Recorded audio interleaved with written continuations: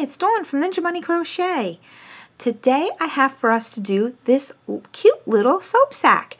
It's got the bobble stitches on one side so it's nice and scrubby and on the back side it's nice and smooth.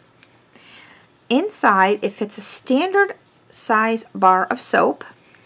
As you can see right here, I'm going to get it out for you. Or you can put all your little like partial bars of soap in there and then cinch it up and you can hang it in the shower with the little handle. It's really cute and convenient. And I also have matching face rounds so that you can use these in the shower to wash your face. However, if you if you go onto my Etsy shop and you purchase the pattern for the soap saver sack, you'll get the face round pattern for free.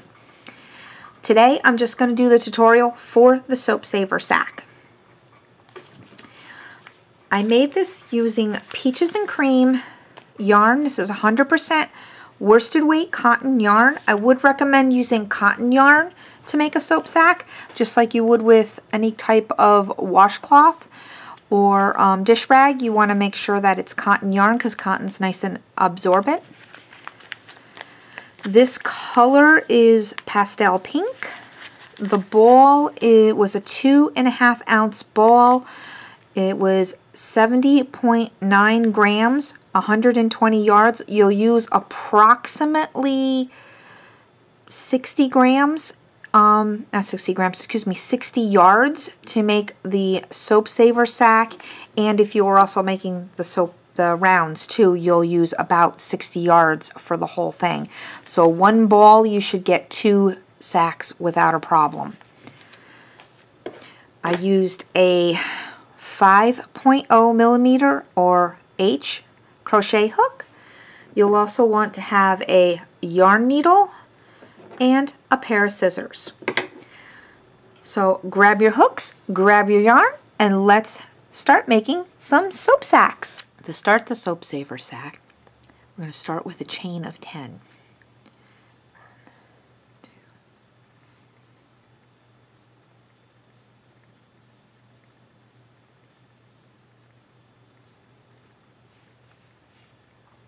Starting second chain from hook with a half double crochet.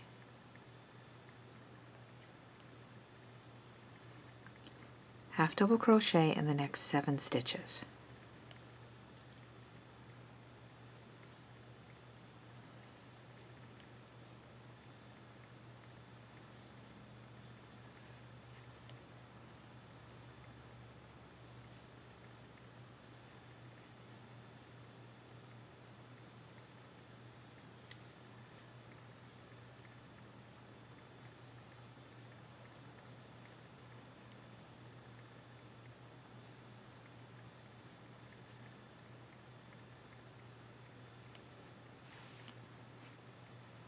In the last stitch place three half double crochets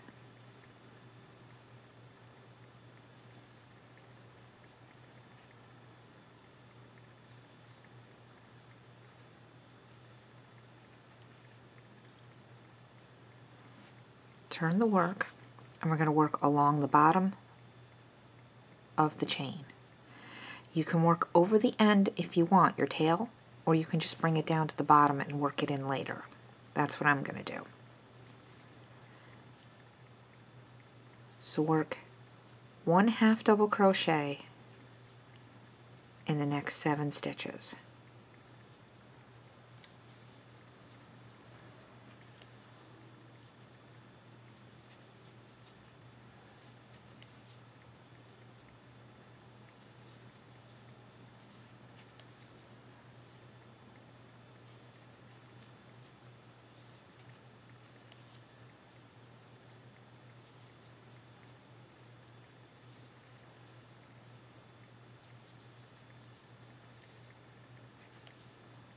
In this last stitch place two half double crochets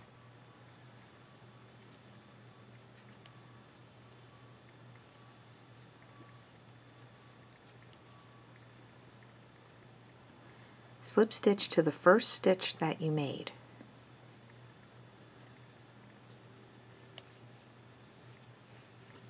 This is what your work should look like. Okay, start round two. We should have 20 stitches. We're going to chain up two and we're going to place two half double crochets into that same stitch that we just slip stitched into.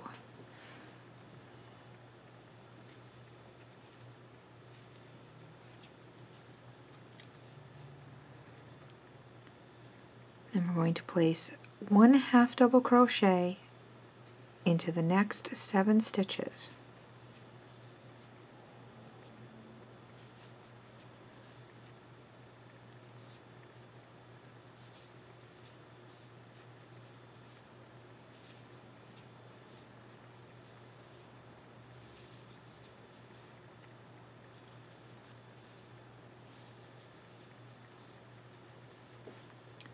Then we're going to place two half double crochets into the next.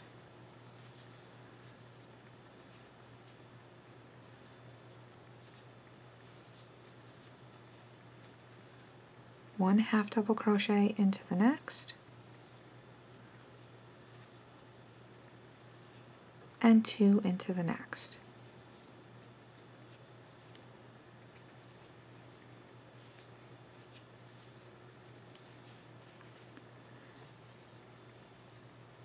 and place one half double crochet into the next seven stitches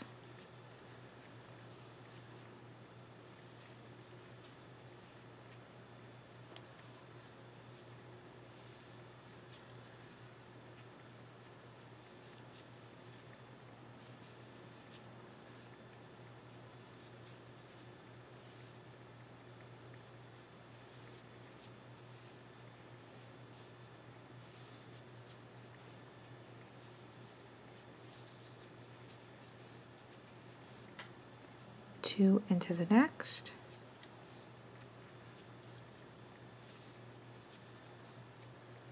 And one into the last.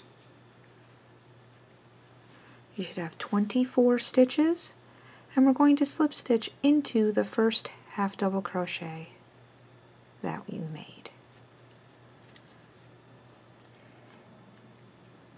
This ends round two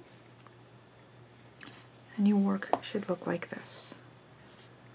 There's your tail.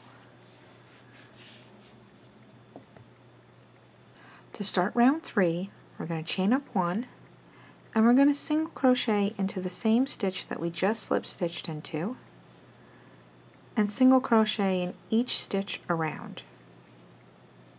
We are done increasing, so we're just going to place one single crochet into each stitch around.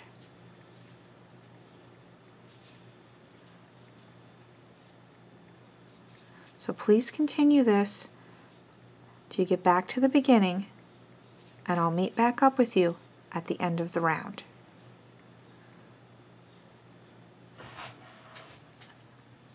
I'm at the end of round three. We still have 24 stitches. We need to slip stitch into the first single crochet that we made. To start round four, we're going to chain one and we're going to single crochet into that stitch that we just slip stitched into. The next stitch we're going to do, we're going to start our bobbles. To start up, to do a bobble stitch, we're going to yarn over, insert into the stitch, pull up a loop, yarn over, pull through two, yarn over, insert back into the stitch, pull up a loop, yarn over, pull through two, three loops on the hook, yarn over, insert back into the stitch, pull up a loop, yarn over, pull through two. We're going to do that one more time because we want five loops on the hook. Pull up a loop, pull through two. Now we have five loops left. Yarn over, pull through all five, give it a little tug, and we're going to single crochet into the next stitch and our bobbles pop out onto the other onto the right side of our fabric. We're going to repeat this four more times. So yarn over, pull up a loop, pull through two, yarn over, pull up a loop, pull through two, yarn over, pull up a loop, and pull through two, four loops one more time, yarn over, pull up a loop, pull through two, we have five loops left, yarn over, and pull through all five, give a little tug, and single crochet in the next stitch. So we're going to repeat this now three more times and then single crochet in the remaining stitches back to the beginning and I'll meet up with you at the end of the round. I'm at the end of round four. We still have 24 stitches. I'm going to slip stitch to the first single crochet that we made. To start round five, we're going to chain one and turn the work. We're going to single crochet back into that same stitch we just slip stitched into and single crochet into each stitch around.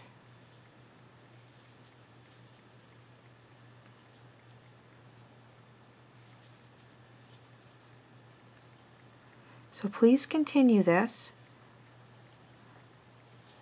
and I'll meet back up with you at the end of the round.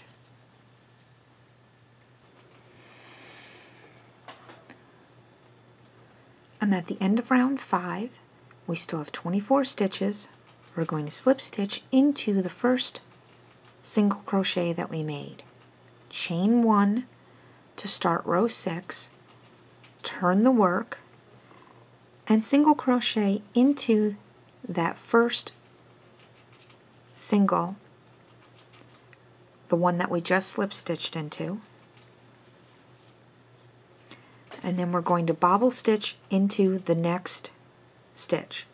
Yarn over, insert your hook, pull up a loop, yarn over, and pull through two. Yarn over, and pull through two. Yarn over, pull up a loop, pull through two, four loops, yarn over, pull through two, yarn over, pull through two. Five loops, yarn over, pull through all five, give a little tug, and single crochet in the next. Again, we're going to bobble in the next one.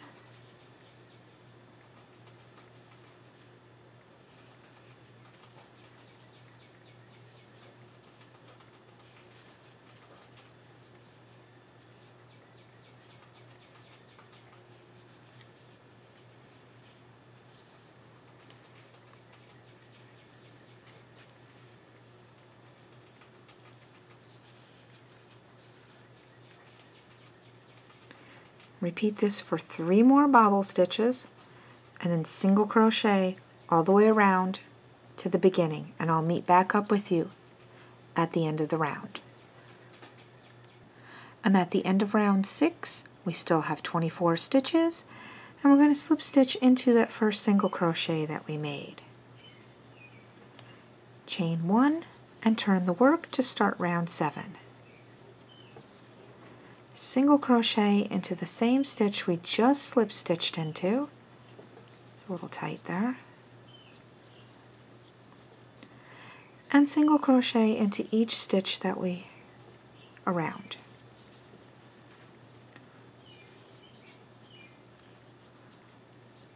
Continue doing this and I will meet back up with you at the end of this round. I'm at the end of round 7, we still have 24 stitches, and we're going to slip stitch into that first single crochet that we made. Now for rounds 8 through rounds 13, we're going to just repeat round 6 and round 7. So if you could just please repeat round 6 and 7 for rounds 8 to 13, and I'll meet back up with you at the end of round 13. I'm at the end of row 13. I've got five rows of bobbles. One, two, three, four, five. and we're going to repeat round four only one more time. So chain one and turn the work. Single in that first stitch that we just slip stitched into.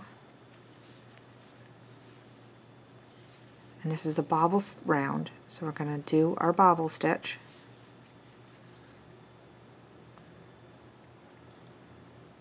Careful not to split the yarn there.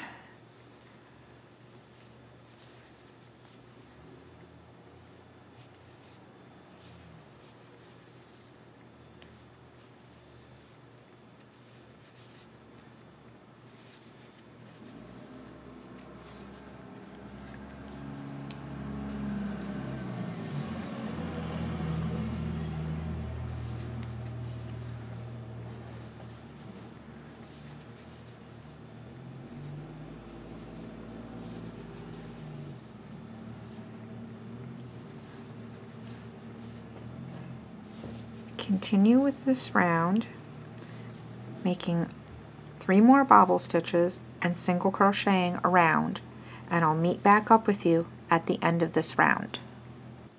I'm at the end of round 14. I still have 24 stitches. We're going to slip stitch into the first stitch that we made. To start round 15, we're going to chain two and turn the work. Going to double crochet into the same stitch that we just slip stitched into. And going to chain two. Skip the next two stitches and double crochet into the next. Chain two. Skip two stitches one, two, and double crochet into the next. Chain two,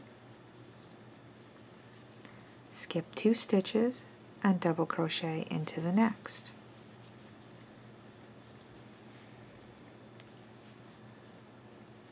This will be the repeat all the way around, so please continue this, and I'll meet back up with you at the end of the round.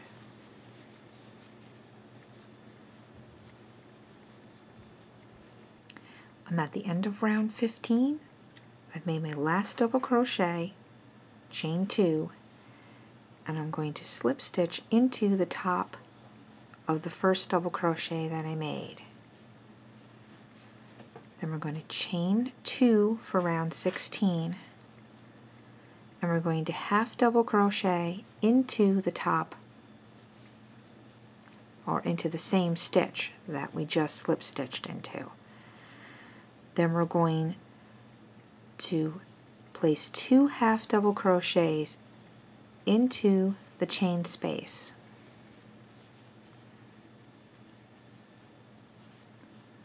One half double crochet into the top of the double crochet.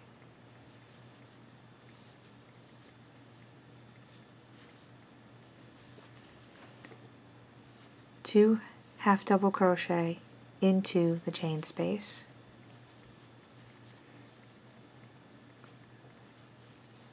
and one half double crochet into the double crochet. Please repeat this all the way around till you get back to the beginning and I'll meet up with you at the end. I've made it all the way back around to the beginning and I'm going to pull up my loop and we're going to snip it off and pull out the loop. I'm going to show you how to do a invisible finish.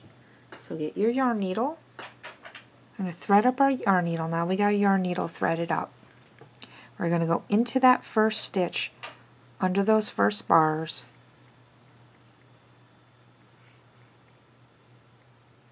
and back through to the other back through the same stitch so it looks like another stitch.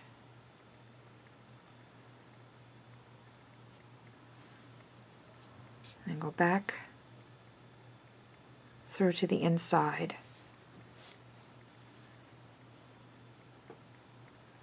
so that we can weave this under like this. That way it looks like just like another stitch. And then we can just weave these un ends under. So weave in all your other ends and I'll meet back up with you and we'll do the strap. To start the strap, we're going to want a chain of 50.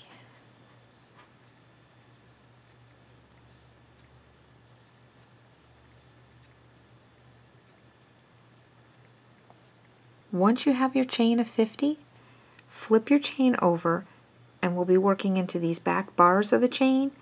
I like to work this way into the chain because I think it gives your project a overall better finish, especially when you're making a strap. However, it's completely up to you how you like to work into the chain, how whatever you're comfortable with. So we're going to go second chain from hook and we're going to single crochet all the way across the chain. Once you get down to the bottom of the chain, fasten off, but leave a little bit of a tail so that you can sew the ends together. So I'll meet back up with you at the end of the chain and we can weave in our strap into our soap sack and sew it together. So I'll meet back up with you in a few minutes. I have my strap made and we're just going to weave it in between the double crochet rounds. I just want to make sure it doesn't twist.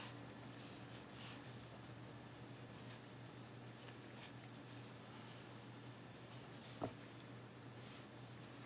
just go back and forth between the double crochets.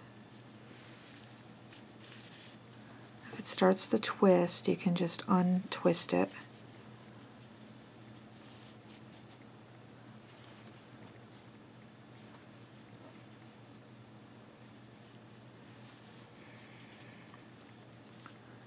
Just like that.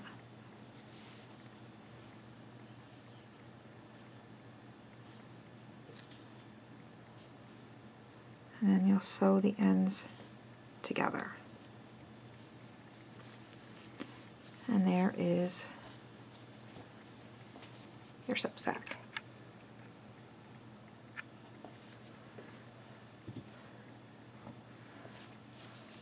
Just like the one I had in the example with the bar soap in it. So if you like this tutorial, please give it a thumbs up.